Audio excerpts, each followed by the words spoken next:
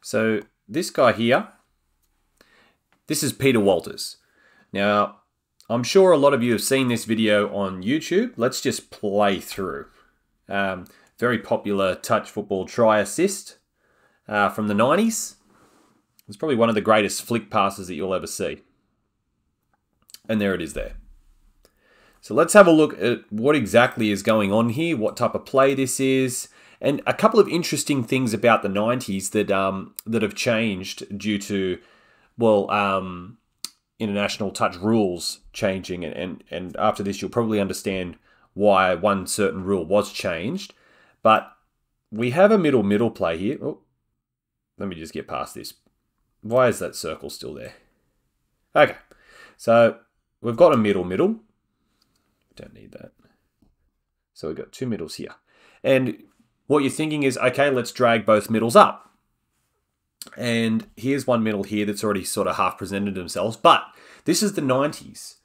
Now, notice when the player with the ball, I'm not quite sure of his name, but he comes into the closer to the line, and the two Australian guys, him and him, they just back off. In the 90s, we never actually had the rule where you had to move forward. So if you go back and you can search the um, the 1991, um, I think they're Trans Tasman's or World Cup games between Australia and New Zealand, and especially line line attack sets could go for a couple of minutes because teams would either walk out a couple of meters, three, four meters, and just hold on that line and only move laterally. That's why a lot of old um, older players that played when it was like uh, this rule are so accustomed to doing like late switches because they use that to break holes in the defense. Whereas now you can bring them up and attack them while they're offside. Okay, so we have a middle dump. Now he's dumping on his own middle. That was just a bit of fun facts about the 90s touch football. So he's dumped on his middle and he's split short side like it's a short side quickie. Now, normally I'd say if you're going to take off, you want to be in front of this player because you want to beat them when they're offside. Let's just assume the other Australian player's offside.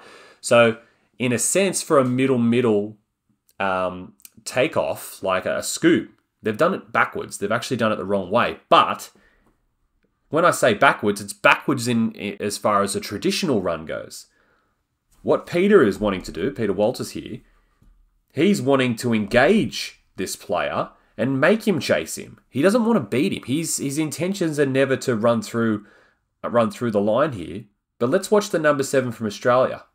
See, he takes off at at him first, and he looks him in the eye. Once you look someone in the eye, they're going to be engaged with you. Okay, the eyes can do so much more uh, than what you think. Okay, so once he's taken a couple of steps, the Australian player's onside, and now he's going to shift shift his momentum this way.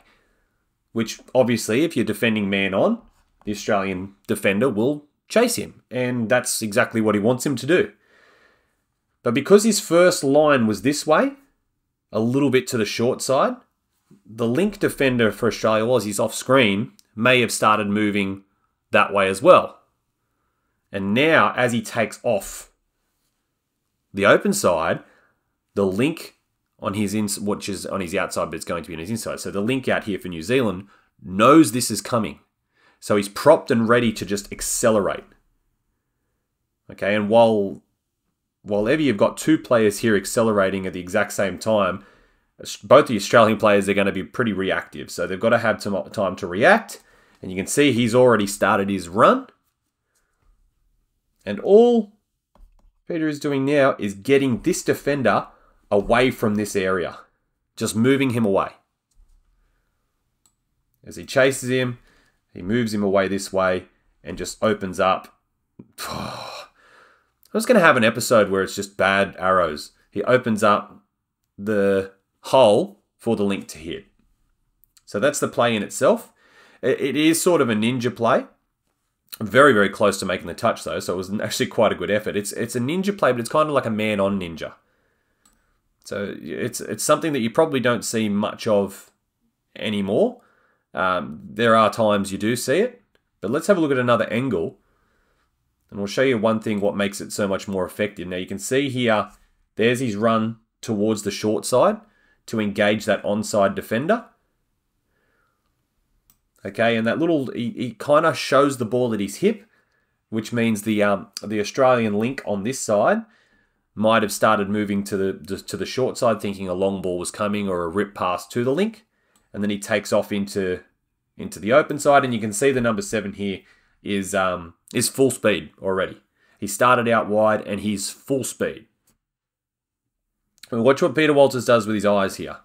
Well, I know you can see the back of his head, but you got a you kind of got an understanding of where he's looking, and he's shaping and he's looking now to pass this way. So that'll release this defender here and make this defender chase him even harder. And there's the blind flick pass there. Now that there, you can run this play. Very close decision. You can run this play as much as you want, but like I could get that line, I could practice that line 10 times and maybe get that right. But that flick pass, that is just, I don't know whether it's natural or, or Peter practiced that a lot when he was younger, but that, that flick pass there is, um, is really cool. it's not something that I can do, and it's but um, this is why I really enjoy watching New Zealand style of play because there is an element of um, the old school way. You do see a lot of um, late switches, or they call them cuts. But let's have a look at that one more time. And there's the pass. Everything just sort of aligned in New Zealand's favour then. Really cool stuff. But yeah, that's just a little analysis of um, of basically the greatest flick pass assist you'll you'll ever see in the game. Um, if you know a better one, let us know in the comments. But um, yeah, thanks for watching. Uh, we'll have plenty more content out. This is, I just wanted to take this opportunity to to um, to make a video on Peter Walters as I met him for the first time uh, the weekend before this video was made, and he is uh, a gentleman, uh, loves the game, very good player still at his age. Um, and it was really, really nice to meet him. I'm very glad I met him. So uh, thanks for all your input in the game, Pete. And uh, for all you guys, thanks for watching. See you next time.